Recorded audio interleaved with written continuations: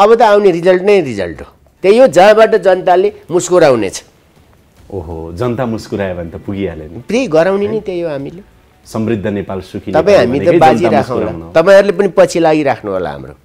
म रिसाउँदिनँ तपाईँहरूले रिसायो भन्नै पर्दैन। कुरा बहस गर्दाखेरि चाहिँ भइहाल्छ नि तर मलाई हँसिलो लाग्यो तपाईँ। होइन। त्यस्तो त्यस्तो नठान्नु होला। तपाईँले अघि नै भन्नुभयो नि कठोर भनेर।